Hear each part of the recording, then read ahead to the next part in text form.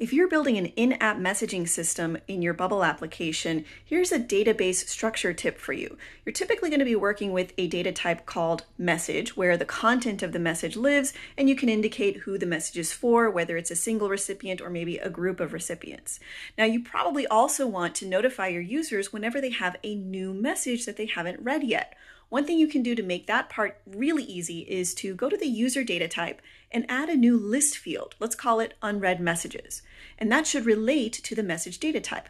Now, anytime a new message is created, you want to add that message to all of the recipient's user records to this new list field. This gives you a lot of flexibility to count up how many unread messages they have, what conversations they're a part of, without having to do a lot of redundant searches.